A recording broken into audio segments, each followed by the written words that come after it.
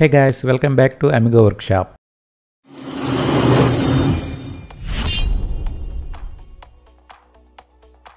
Toolbox గురించి first రెండు వీడియోల్లో కొన్ని టూల్స్ గురించి తెలుసుకున్నాం. అండ్ ఇప్పుడు లాస్ట్ పార్ట్గా లాస్ట్ ఉన్న ఈ టూల్స్ గురించి ఈ వీడియోలో చూద్దాం.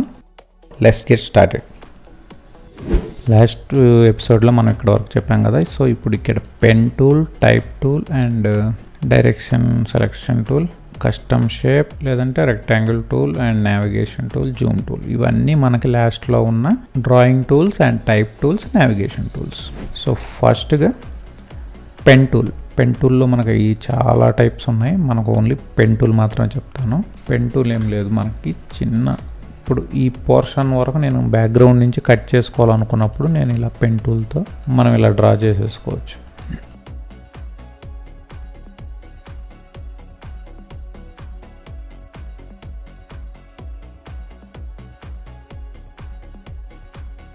ఎండకు వచ్చేసిన తర్వాత మనం ఎక్కడైతే మొదలెట్టామో అక్కడికి వచ్చేసిన తర్వాత ఇక్కడికి వచ్చిన తర్వాత కర్సర్ దగ్గర ఒక సర్కిల్ వస్తుంది. దాన్ని క్లిక్ చేస్తే మనకి ఇదంతా ఒక సెలక్షన్ ఫామ్ అవుతుంది కానీ సెలక్షన్ అవ్వదు. సో ఇప్పుడు ఏం చేయాలంటే మేక్ సెలక్షన్ రైట్ క్లిక్ ఇచ్చి మేక్ సెలక్షన్ క్లిక్ చేసిన ఒక ఆప్షన్ డైలాగ్ బాక్స్ వస్తుంది. ఓకే క్లిక్ చేయండి. సో ఇప్పుడు ఈ పోర్షన్ అంతా మనకి సెలెక్ట్ అయిపోయింది. లేదు కంట్రోల్ ఎంటర్ క్లిక్ చేసినా మనకు సెలెక్ట్ అయిపోతుంది. నో ఇష్యూస్ సో దీన్ని మనం ఇక్కడ నుంచి డిలీట్ చేసేయచ్చు. ఇంకో చోట మనం పేస్ట్ చేసుకోవచ్చు. కాపీ చేసి పేస్ట్ చేసుకోవచ్చు.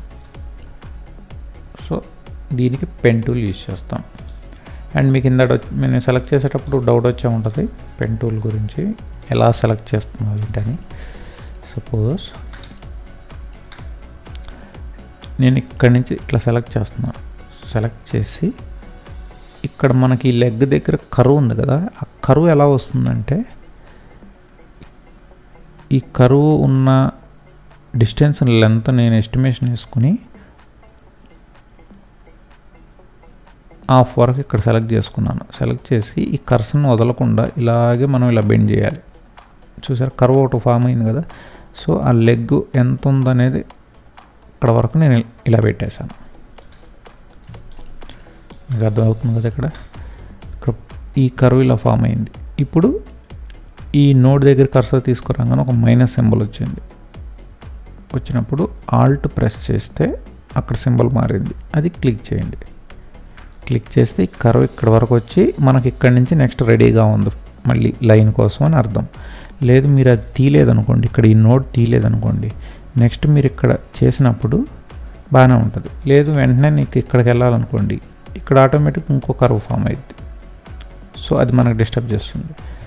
ఇప్పుడు మీరు ఇట్లా తీసేసారనుకోండి నెక్స్ట్ ఎక్కడి నుంచి అయిందో అక్కడి నుంచి స్ట్రైట్గా ఇలా తీసుకుంటుంది అనమాట ఓకే అందువల్ల మనం ఎప్పుడు ఈ కరువుస్ అనేది జాగ్రత్తగా చూసుకోవాలి. నెక్స్ట్ నేను ఇక్కడి నుంచి ఇలా వెళ్తున్నాను. ఇట్లా వచ్చింది. ఇక్కడ కొంచెం కరువు ఉంది. అప్పుడు నేను ఏం చేశానంటే ఎండ్ ఆఫ్ ది కరువుకి వెళ్ళిపోయి ఇక్కడ క్లిక్ చేసి కర్సర్ వదలకుండానే ఇలా బెండ్ చేశాను. బెండ్ చేసి మళ్ళీ మనం ఈ నోట్ తీయలేకపోతే ఇప్పుడు నేను ఇటు వెళ్ళాలి. వెళ్ళాలన్నప్పుడు ఇలా క్లిక్ చేస్తే ఇది ఇక్కడ ఒక కరువు ఫామ్ అయింది కదా. సో అలా ఫామ్ అయ్యి మనకి అనుకున్న షేప్ అయితే రాదు. సో నేను అందుకే ఏం చేస్తున్నానంటే ఇక్కడ ఈ నోడు డిలీట్ చేస్తున్నాను. ఆల్ట్ ఆల్ట్ ప్రెస్ చేసి పట్టుకుంటే మనకు అక్కడ ఒక సింబల్ వస్తుంది. నేను అక్కడ దాని మీద క్లిక్ చేశాను. క్లిక్ చేసినప్పుడు అది పోయింది. నెక్స్ట్. ఇలా ఇలా నేను డ్రా చేస్తాను. అండ్ ఇక్కడ నెక్ దగ్గర మనకి ఈ కరువు ఉంది. మీరు మామూలుగా దగ్గర దగ్గర నోట్స్ ఇస్తే ఇలా ఇలా ఇలా ఇలా వెళ్ళొచ్చు. కానీ అది అంత యాక్యురేట్గా రాదు. బాగోదు కాబట్టి కరువుస్ తీసుకోవాలి. నేను ఈ కరువు దగ్గర ఇక్కడికి వచ్చిన తర్వాత ఇలా బెండ్ చేసుకున్నాను. చేసి మళ్ళీ ఆల్ట్ ప్రెస్ చేసుకుని ఇలా చేశాను. నెక్స్ట్ ఇలా. హెడ్ దగ్గరికి వచ్చేటప్పటికి ఇలా. అంటే ఎక్కడ మీరు పాయింట్ చేయాలనుకుంటే సపోజ్ ఇది ఇదంతా తిరిగిద్ది కదా ఇక్కడ తీసుకుంటే ఇదంతా తిరిగిద్ది కదా అనుకోవచ్చు. సపోజ్ మీరు అనుకున్నట్టే నేను ఇదంతా కరువే కదా ఇక్కడ తీసుకున్నాను కదా. ఇక్కడ తీసుకుని నేను బెండ్ చేస్తే ఎలా అవుతుంది షేపు? ఇలా రావాలి మనకి. సో ఇలా వస్తేనేమో హెడ్ కట్ అయిపోతుంది. సో దాన్ని బట్టి ఎంత డిస్టెన్స్లో మీరు తీసుకుంటే కరువును మేనేజ్ చేయగలరు అనే దాన్ని ఎస్టిమేషన్ వేసుకుని మైండ్లోనే ఇలా వేసుకోండి ఇప్పుడు నేను ఈ ఏరియాలో ఇక్కడ తీసుకుంటే ఇదంతా తిరగదు. ఇక్కడ తీసుకుంటే మళ్ళీ ఇక్కడ కూడా మళ్ళీ తీసుకోవాలి. అప్పుడు ఈ షేప్ అనేది దెబ్బతింటుంది కాబట్టి నేను ఇక్కడ పాయింట్ చేసుకుంటే నేను తిప్పగలను కరువుని. సో ఇది షేప్ ఇలా తీసుకుని ఇది రిమూవ్ చేశాను. అండ్ మళ్ళీ ఇలా తీసుకుని ఇది రిమూవ్ చేశాను. అండ్ మళ్ళీ ఇలా తీసుకుని ఇలా ఇలా ఇలా ఇలా.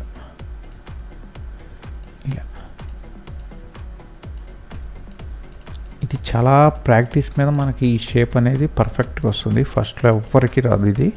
అంటే ఎస్టిమేషన్ వేయలేము మనం. ఎక్కడ తీసుకుంటే కరువు ఫామ్ అయ్యిద్ది ఎక్కడ ఏంటి అనేది మనం సరిగ్గా ఎస్టిమేషన్ వేయలేము. సో మీరు ప్రాక్టీస్ మీద అయితే చాలా బాగా వస్తుంది ఇది. ప్రాక్టీస్ చేయండి. ఓకేనా? Control enter. ఎంటర్ క్లిక్ చేశాను అండ్ కాపీ చేశాను మళ్ళీ పేస్ట్ చేశాను. పేస్ట్ చేసి దీన్ని ఎక్కడ కావాలంటే అక్కడ మళ్ళీ పెట్టుకోవచ్చు అనమాట ఓకేనా? ఇది పెన్ టూల్. నెక్స్ట్ వచ్చేసి మనకి టైప్ టూల్.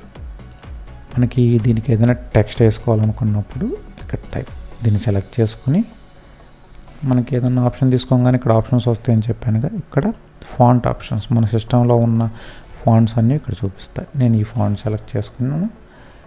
అండ్ ఇక్కడ సైజు టెక్స్ట్ యొక్క సైజ్ ఇది.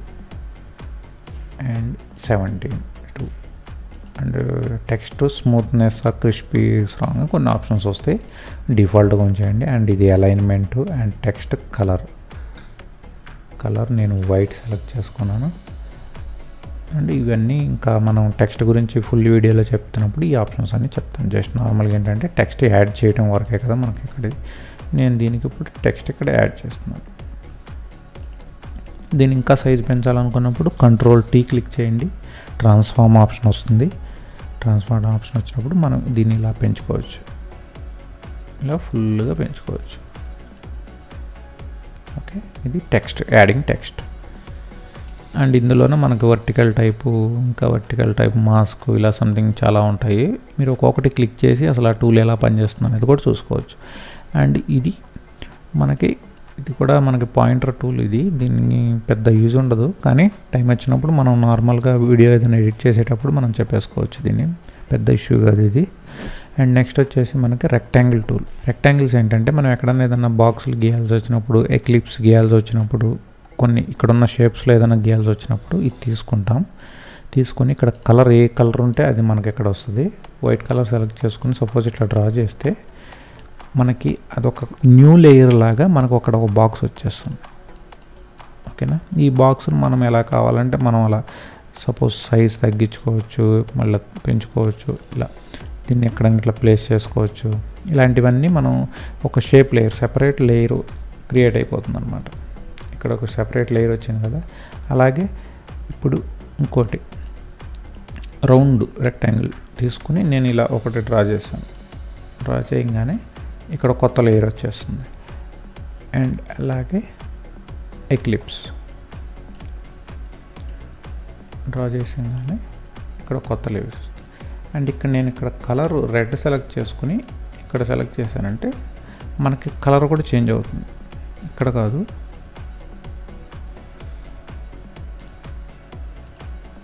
ఇక్కడ. ఓకే ఓకే మనం ఇక్కడ సెలెక్ట్ చేసుకోవాలి.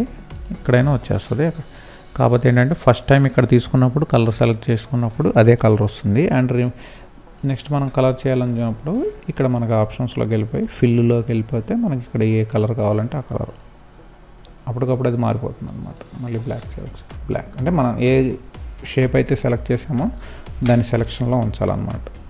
ఇప్పుడు నేను ఏ క్లిప్ సెలెక్ట్ చేశాను సపోజ్ రౌండ్ ఇది ఇది సెలెక్ట్ చేశాను దీనికి వెళ్ళిపోయి నేను మళ్ళీ రెడ్ కలర్ మార్చుకోవచ్చు ఎనీ టైం సో ఇలా కలర్స్ చేంజ్ చేసుకోవచ్చు. అండ్ ఇందులోనే మనకి కస్టమ్ షేప్ టూల్ కూడా ఉంది. కస్టమ్ షేప్ అంటే ఏం లేదు. ఇది మనం సెలెక్ట్ చేసుకున్నప్పుడు ఇక్కడ మనకి షేప్స్ ఉంటాయి. ఆల్రెడీ డిఫాల్ట్గా కొన్ని షేప్స్ ఉంటాయి. సపోజ్ ఇది అనుకోండి ఇది ఒక ట్రీ షేప్ నేను ఇది సెలెక్ట్ చేసుకుని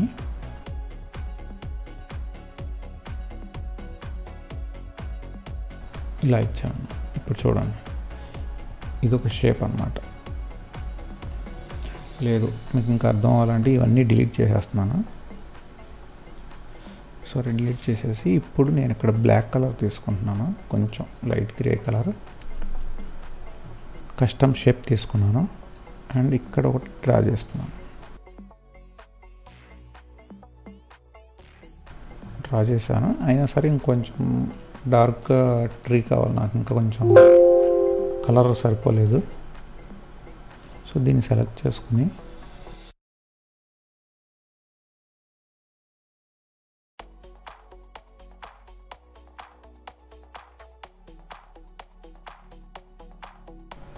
బ్లాక్ సో దీన్ని ఇలా పెట్టుకుంటే ఆల్మోస్ట్ ఒరిజినల్ షేప్ లాగానే ఉంటాయి. కాకపోతే ఇవన్నీ మనం సెపరేట్గా డౌన్లోడ్ చేసుకోవాల్సి వస్తుంది. ఆన్లైన్లో ఫ్రీ కూడా ఉంటాయి shapes custom say Photoshop shapes అని కొట్టినా మనకి కొన్ని చాలా అవైలబిలిటీ ఉంటాయి. అంటే ఎలాంటి షేప్స్ మనకి అందుబాటులో ఉంటాయి అంటే సపోజ్ ఇలా ఏదైనా యారో మార్క్స్ సంబంధించి ఇలాంటివి లేదనుకుంటే ఇంకా చాలా రకాల బోట్స్ సపోజ్ ఇలా ఇలాంటివి జస్ట్ ఇప్పుడు ఏముంది? ఇప్పుడు ఈ బోట్ని మనం తీసుకొని దాని సైజ్ ఇలా మనం తగ్గించేసుకుని ఇక్కడ వాటర్లో ఇలా పెట్టేసాం అనుకోండి. అసలు ఆల్రెడీ అదేదో ఒక బోట్ లాగానే ఉంటుంది తప్ప అది మనకు అది ఒక కలర్ ఫిల్అప్ లాగా ఏమి ఉండదు కదా. సో ఇలాంటి వాటికి కూడా మనం ఈ షేప్స్ అనేది యూజ్ చేస్తూ ఉంటాం. లాస్ట్ నుంచి సెకండ్ది ఏంటంటే హ్యాండ్ టూల్. నేను మీకు ఇందాక మట్టి చెప్పేటప్పుడు అప్పుడప్పుడు హ్యాండ్ టూల్ వస్తుంది స్క్రీన్ మీదకి. ఎందుకంటే అది స్పేస్ అనమాట సపోజ్ నేను ఇప్పుడు ఇందులో ఉంది. నేను ఇక్కడ జూమ్ చేశాను. కానీ నేను మళ్ళీ కిందకి రావాలి. అప్పుడు స్పేస్ ప్రెస్ చేస్తే మనకి హ్యాండ్ వస్తుంది. అంటే ఇది ఈ టూల్ వస్తుంది. స్పేస్ ప్రెస్ చేసి ఇలా మూవ్ చేస్తాను. మళ్ళీ మీకు ఎక్కడ ఏదైనా ఇట్లా ఎక్స్ప్లెయిన్ చేస్తున్నాను ఎక్స్ప్లెయిన్ చేసేటప్పుడు మళ్ళీ ఇది అది అని చెప్పేసి వేరే చోటకి వెళ్ళాలన్నప్పుడు మళ్ళీ ఇట్లా స్పేస్ ప్రెస్ చేస్తాను. ఇలా. ఎప్పుడైతే రిలీజ్ చేస్తామో మనం డిఫాల్ట్గా ఏ టూల్లో ఉన్నామో అది వచ్చేస్తుంది. సపోజ్ నేను ఇక్కడ పెన్ టూల్లో ఉన్నాను అనుకోండి పి పెన్ టూల్ ఇక్కడ ఏదో డ్రా చేసుకుంటూ వెళ్తున్నాను. వెళ్తా మళ్ళీ నేను పక్కకి వెళ్ళాలి. ఇలా వెళ్ళినప్పుడు స్పేస్ నొక్కి పట్టుకుని ఇలా డ్రాగ్ చేస్తాను. మళ్ళీ ఎప్పుడైతే నేను స్పేస్ రిలీజ్ చేసేస్తానో అప్పుడు ప్రీవియస్ టూల్లోకి వచ్చేస్తుంది. మళ్ళీ స్పేస్ పట్టుకున్నప్పుడు మనకి హ్యాండ్ టూల్ వస్తుంది. అలా. కాన్వాస్ని అటు ఇటు మూవ్ చేసుకోవడానికి మనకి హ్యాండ్ టూల్ యూజ్ చేస్తాం. అండ్ అందులోనే రొటేట్ వ్యూ. ఇలా. మన ఈ వ్యూని ఇలా ఇలా రొటేట్ చేసుకోవడానికి అందులోనే ఉంటుంది ఆప్షన్ ఇది రొటేట్ వ్యూ అండ్ లాస్ట్ వచ్చేసి జూమ్ టూల్ జూమ్ అవుట్ ఇక్కడ మళ్ళీ మైనస్ ఉంటుంది జూమ్ అవుట్ ఇది నెక్స్ట్ జూమ్ ఇన్ ఇది. అలా. ఇది కూడా యూస్ చేస్తాం. దీనికి షార్ట్ కట్స్ కూడా ఉన్నాయి.